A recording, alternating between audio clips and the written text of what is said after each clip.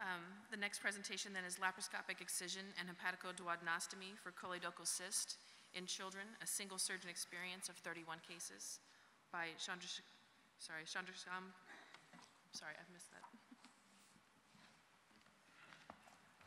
You can call me Chandra, it's okay. Uh, Good morning. Um, I'll present our experience with laparoscopic excision of choledochal cyst and uh, hepaticoduodenostomy.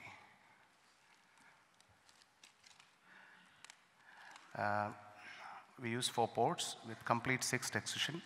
Uh, The duodenum is cauterized extensively so that we perform a duodenotomy away from the pylorus at the junction of the first and second portions of the duodenum, and a single layer interrupted hepaticoduodenostomy is constructed.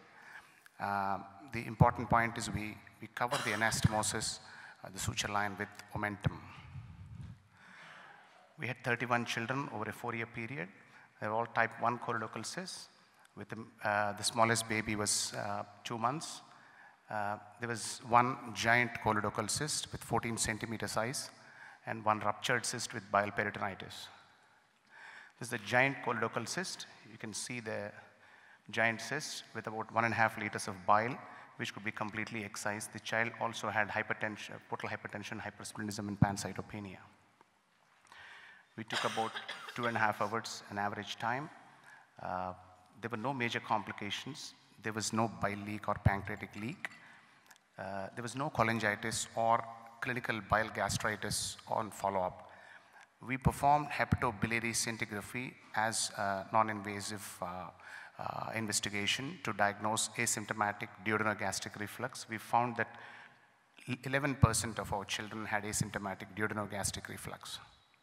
So we conclude that laparoscopic excision of choledochal with hepaticoduodenostomy is a safe and effective procedure, even in complex patients. The covering the suture line with omentum prevented bile leak in all patients. There was no symptomatic duodenogastric reflux in our series. About 11%, that is not a very high, it's much lower incidence than reported in literature of asymptomatic duodenogastric reflux. Thank you very much.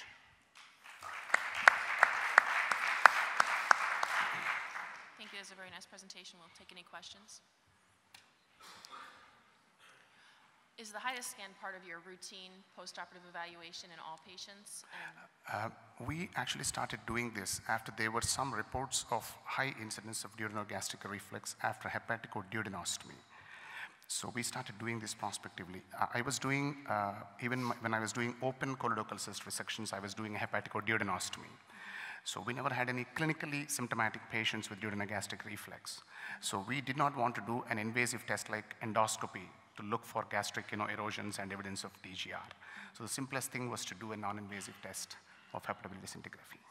very good information. Thank you. Thank you. Thank you.